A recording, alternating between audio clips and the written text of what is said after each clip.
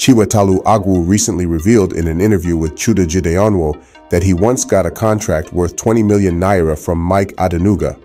He said that billionaire initially offered him 10 million for the project, but he refused and insisted on getting 20 million.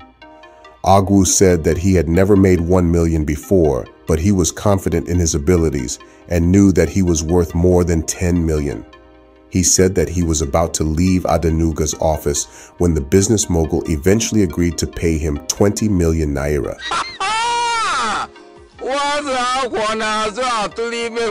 Chiwetalu Agu described the contract agreement with Adenuga as the most wonderful thing at that moment.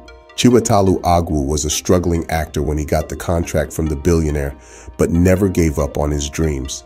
He believed in himself and he was willing to fight for what he wanted. As a result, he was able to achieve great success.